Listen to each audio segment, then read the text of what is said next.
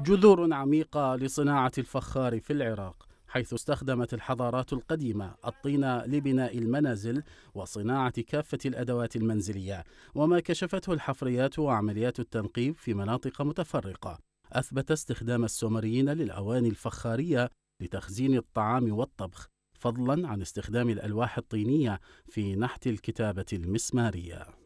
صناعة الفخار مهنة توارثها العراقيون منذ آلاف السنين، إذ تشتهر العديد من العائلات في العراق بهذه الحرفة عبر صناعة التحف والأواني والأباريق للحفاظ على برودة المياه أو الحفاظ على الطعام. إلا أن تنور الطين لصناعة الخبز يبقى أبرز ما صنع من الفخار. هاي الشغلة أنا اكتسبتها من والدي، والدي هم اكتسبها من والده. فيقولون صار لها تقريبا 200 سنة أكثر هي نفس الصناعة يشتغلون بها فهاي إحنا يسمونها بيت الكواز لأن كان نشتغل بالكوازة يعني بالفخاري.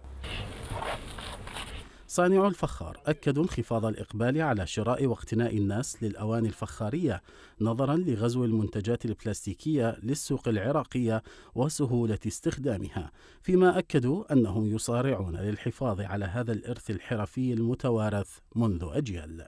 وعلى الرغم من توفر الأفران الكهربائية والغازية في الأسواق وبأسعار مناسبة إلا أن العديد من العائلات تفضل تناول الخبز المحمص بتنور طيني.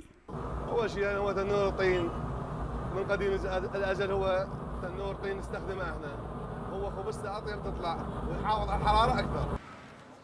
ويبقى طعم الخبز المصنوع في فرن طيني مختلف جدا عن ذلك المخبوز في فرن كهربائي أو غازي بحسب ما يؤكده العراقيون ويبقى الخيار الأفضل لديهم لتذوق أطيب أنواع الخبز فهو يجمع ما بين نكهة مستساغة وتراث تربى عليه الآباء والأجداد.